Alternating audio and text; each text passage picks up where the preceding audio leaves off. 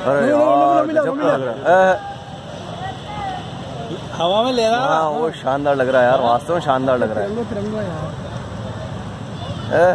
हवा में ले रहा था इसको इसको तो इन्हें कंटिन्यू आगुन छाओ इन्हें पागल ने